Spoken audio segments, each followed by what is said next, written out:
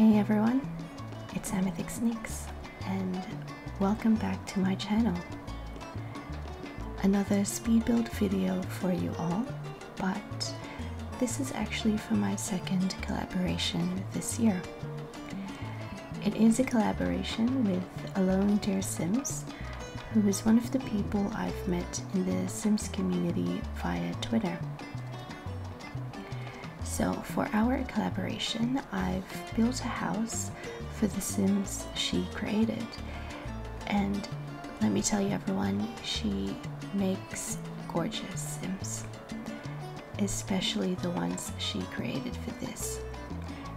Not to mention the background stories the characters have.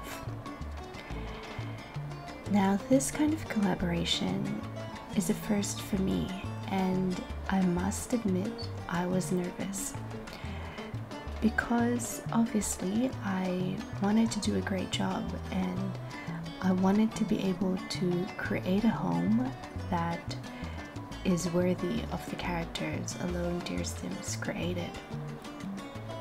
And the background stories that she created for these characters really helped me shape their home. And that's why I absolutely loved furnishing the house because I tried to incorporate as much of their traits into the build as best I can, and I really hope I did. And I really, really love how it turned out. So, firstly, a quick introduction of the characters that Alone Dear Sims created for this collaboration. The main character is Isabella Sofia Posa.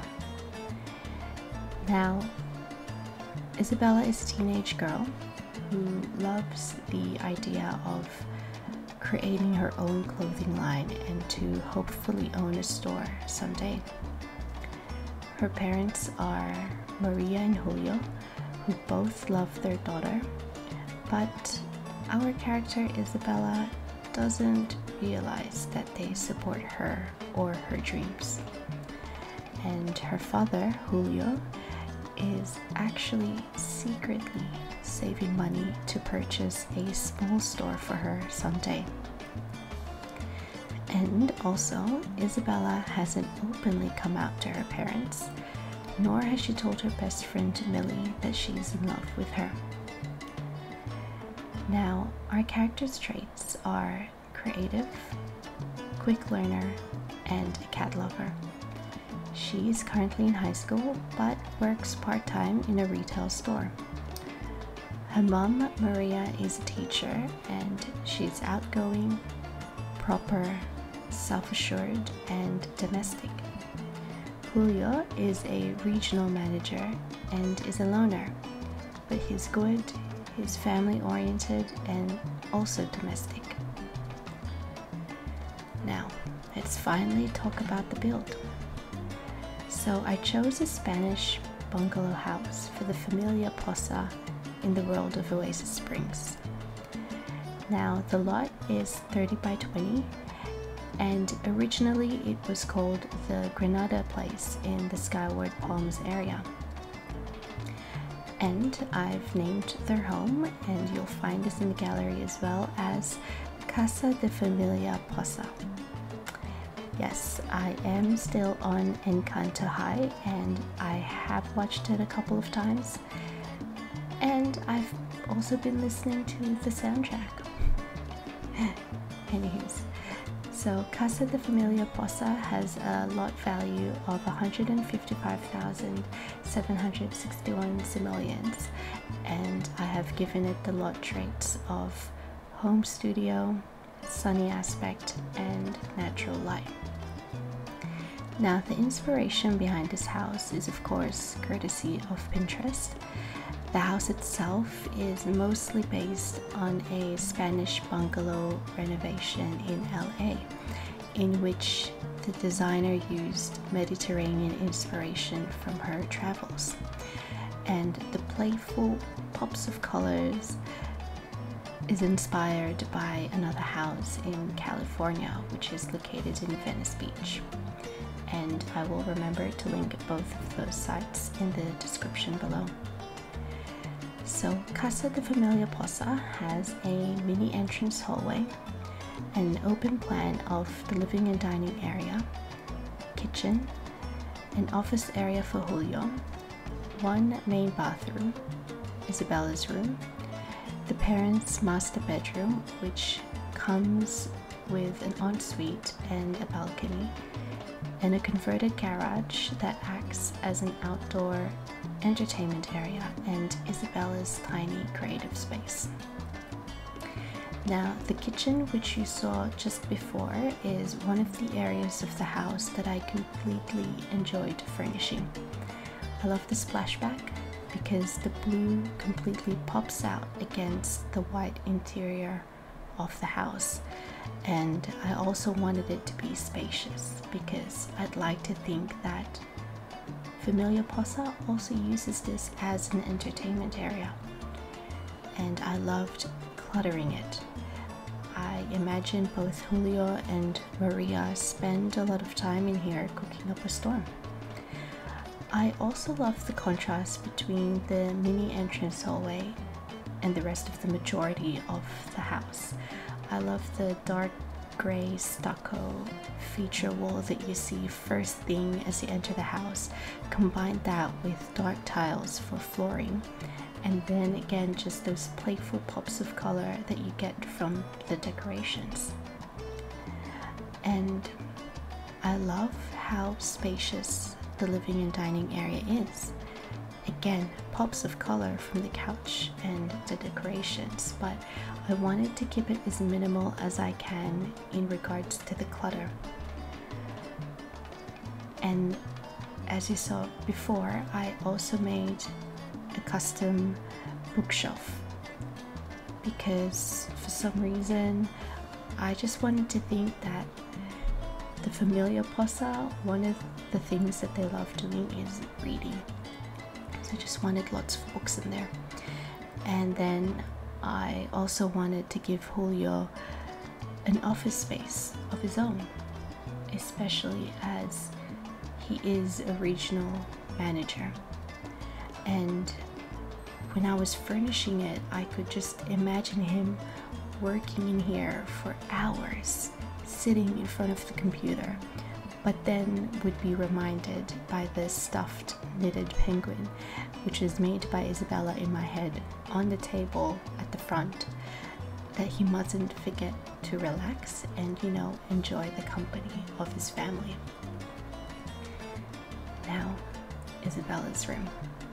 This, I loved furnishing her bedroom so I've made a few teenage rooms before, but let me tell you, it was not as detailed as this one. Again, it's all thanks to Alone Dear Sims' creation of Isabella and the storyline she gave her. So, of course, I went to Pinterest and searched up quotation marks teenage bedroom ideas. And two of those ideas I implemented in Isabella's room. So one of them is what you're currently seeing right now. Just different posters, different artworks. I imagine some of them are made by Isabella and others she bought, all stuck up on this blue feature wall at the head of her bed and I actually used furniture and decoration from the Nifty Knitting stuff pack, especially the tables, because I think it works so well with Isabella being creative, especially when you use those tables in the white swatch. I just imagine that this is where she would store all of her sewing things threads, needles, fabrics, and I think the fact that she can knit jumpers and socks and beanies in the game, so I just wanted to incorporate that to portray that at such a young age, Isabella has started creating clothes. And then the second idea I got from Pinterest is what you're about to see right now. So I wanted it again to have lots of different posters and artwork. I wanted her desk to look cluttered and messy, but she is the only one who knows where everything is. I've also given her a cat bed, a home for any of her future cats, seeing as she is a cat lover. You will also see the knitted cactus and llama, the knitted stuffed toys all around the house. So it's not just in her bedroom. Because in my head, I imagine Isabella obviously creating all of these and you know showing that to her parents or it could be a gift to her parents and obviously her parents keeping it in Julio's office space in their bedroom in the kitchen in the living room basically all around the house because they're proud of their daughter and they cherish anything that she makes for them and they're supportive of her dreams, even though Isabella doesn't, you know, really realize it.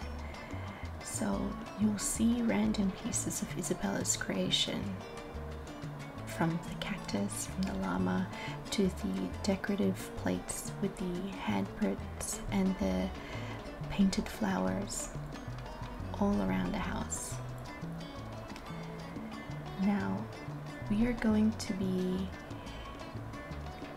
going over to the master bedroom shortly and the layout is somewhat similar to the actual house I based this on, especially the ensuite.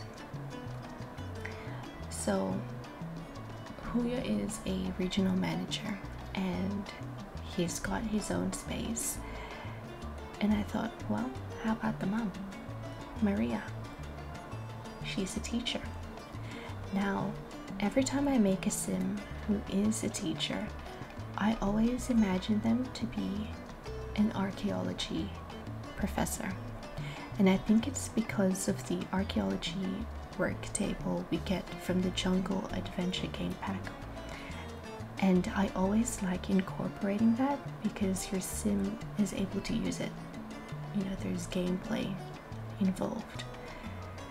So in my head maria may be a professor of archaeology or the salvadorian culture. And that's why i've put up books in the bookshelf on top of her of her desk.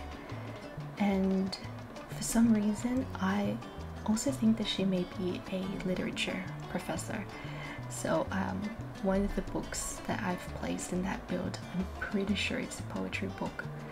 So just to represent um, her being maybe an English teacher. Doesn't have to be a literature professor, she could be an English teacher. Um, so I gave Maria her own desk space in the room. And again, similar to Isabella, it's cluttered with things, but you know, Maria knows where everything is. So basically, organized chaos for both mother and daughter. And I wanted it to be right next to the window. I wanted her to have that view of their backyard. Now, I've also given the parents their own balcony overlooking one of the lakes in Skyward Palms. I think it's just a nice way for them to treat themselves after a hard day's work. Um, just to be able to have somewhere to sit and enjoy the view. Enjoy the view, enjoy nature, and just chill and relax. Now, very shortly, you will see me building a converted garage. Now I wanted to build a converted garage and that is also based on the inspiration from Pinterest. So the actual house had the garage converted into a guest house. But in my one, I wanted to incorporate an entertainment area. So I've placed a couch and two chairs in front of the garage, imagining that the door would open up, making the outdoor entertainment area extend from the garage to the dining table I've placed just in front of it. And I like how it opens up to the backyard as well as the runway leading to the front yard of the house. Now, to incorporate Alone Dear Sims story for these characters, towards the back of the garage, I've set up a very tiny, very cramped creative space for Isabella. I made it really cluttered and I made it messy. I made it look like there's really not a lot of space for movement that you can do in that area. And to work that into the story, I'd like to think that her parents have seen her work endlessly in this cramped space. They always see her there designing and styling, and she doesn't realize it. Her parents see her and they would think our daughter deserves better. She deserves a space that is more spacious than what she has now. Our daughter is talented and we can do more to support her. So that's where the storyline of her dad secretly saving money to purchase a small store for her someday fits into my build. And I absolutely love that story how Maria and Julio are so supportive of their daughter. And I know that Alone Dear Sims has been playing with his family, so I really hope that Isabella sees that from her parents because they absolutely adore her. So that is my build. I had so much fun building this home and thank you to Alone Dear Sims for doing this collaboration with me and for creating such wonderful storylines to the characters you've created. I would love to do more collabs with you in the future. You are a great storyteller and CAS creator, and that truly helped me build a home for them. And I hope that you like the house. I will put a link down below of Alone Dear Sims Twitter and YouTube channel, so make sure to subscribe to her and to everyone, we are nearing the end of the video. And as usual, I've got some screenshots of the house towards the end of the video. And I hope you enjoyed the speed build. And if you do, please don't forget to like and comment. And of course, subscribe. So thank you for watching, and I'll see you on to the next one. Goodbye.